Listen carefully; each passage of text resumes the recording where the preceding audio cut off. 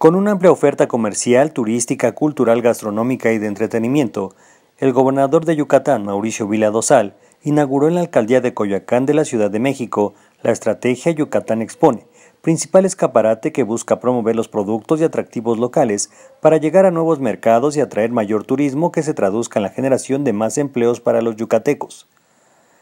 Vila Dosal y el alcalde de Coyoacán, Giovanni Gutiérrez Aguilar, pusieron en marcha la muestra que se realiza del 28 de abril al 1 de mayo, con la participación de 41 expositores, quienes estarán ofertando diversos productos yucatecos como salsas, condimentos, productos textiles, calzado, repostería, artesanías, licores, miel, botanas y frituras, hamacas, bolsas, joyería, entre otros. Y por eso hoy tenemos aquí este bonito pabellón en el cual van a poder conocer muchos productos yucatecos. Tenemos aquí